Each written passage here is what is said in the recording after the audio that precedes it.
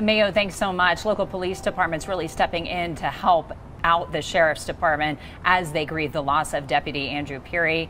News 5's Maggie Bryan here with what they're doing to take some of that burden off of the deputies. Maggie. Right. Members of the El Paso County Sheriff's Office were able to take the time today to honor their fallen brother, and that's thanks to members of other lo local law enforcement agencies around the county stepping up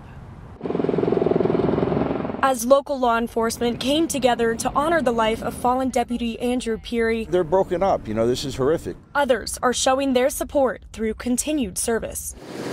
Several local police departments are stepping up to cover ground for the El Paso County Sheriff's Office during and after the funeral services for the deputy. This is, uh, you know, a day that we're trying to take the uh, burden off the sheriff's office. Giving the deputies a break to honor their fallen brother. Letting the El Paso Sheriff's Office grieve, let them focus on each other. The Monument Police Chief says his officers are covering the north end, while Fountain Police are covering the southern districts. Colorado Springs and Manitou Springs Police Departments are also helping out. You know, on a day like today, uh, you know, we don't recognize a patch or a badge. It's just all the local PDs and the sheriff's office. Uh, you know, just trying to walk each other through this. Is a, a, tragic incident. The chief says through this tragic incident, his officers are proud knowing they can help out Deputy Peary's community today. There's a tremendous sense of pride, and they're proud to be out there serving, uh, you know, with this community and helping this, this great sheriff's office.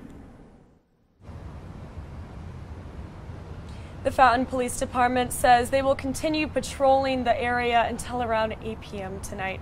In Colorado Springs, I'm Maggie Bryan, News 5. So glad to see how they're helping out their fellow officers in it's, their time of need. It's great to hear it. So important. All right, Maggie, thanks so much.